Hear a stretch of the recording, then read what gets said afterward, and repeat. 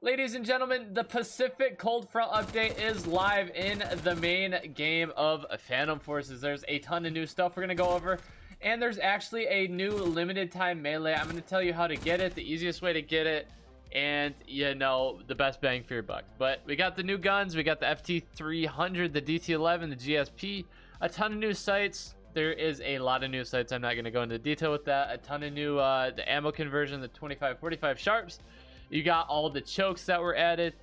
The soldiers got a new model. There's a new lobby model, a new map, a ton of new uh, utility maps, a bunch of me melees. You got the limited time melee, like I said, and a couple options when it comes to scopes. You got a bunch of new cases and inventory icons, all that stuff. There is a lot of stuff that was added this update. A lot of it we already covered, so I'm not going to go into too much depth with that. But right now, if you're new to the channel, hit that sub button, leave a like, a comment. We're trying to hit 15k subscribers by the end of the year. So if you're new to the channel, hit that sub button and comment below what your favorite um, thing about this update is, okay?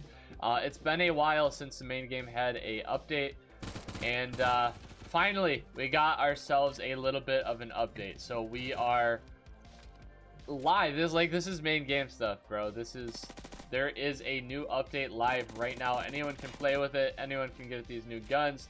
And yeah, what is the bang for the buck? I'm sorry we're trying to go off topic here, but bang for the buck. The limited time melee. How do we get this limited time melee? The Flame of Olympia. It's only available now during this update. This update's going to be over in uh, probably a couple weeks. So it's un unattainable after this update ends. Okay, so how do we get it? And first of all, there isn't anything special with it. I'm sorry. It's not anything like you gotta shoot this, this, and this. There's no secret way to get this case. And it sucks. And it absolutely sucks. There is no special way to get this case. You kind of just have to roll with it. Which I'm very disappointed in. But yeah, how do we how do we get this melee? How do we get this melee?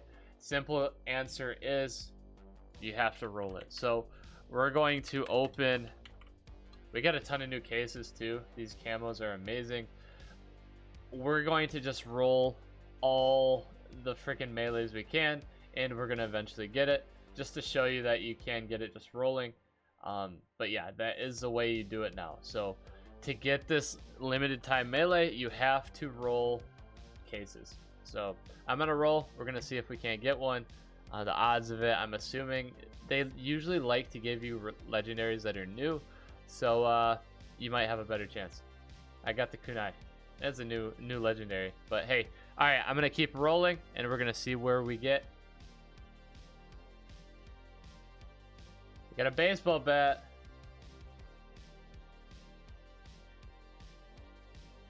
There we go, right there, Flame of Olympia. It took us three legendary rolls to get it, so I spent about 63 cases and I got the uh, the legendary. So give or take, you might be lucky, you might get it first try, you might not, but you gotta roll the uh, the melee.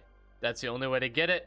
It's unfortunate, but hey, you gotta roll it. So let's see what it looks like right here if I know what I'm doing. The Flame of Olympia.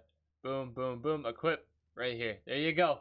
Flame of Olympia. The limited time melee. How to get it. There you go. Thank you guys so much for watching. I hope you have a fantastic day, and I'll see you later. Peace.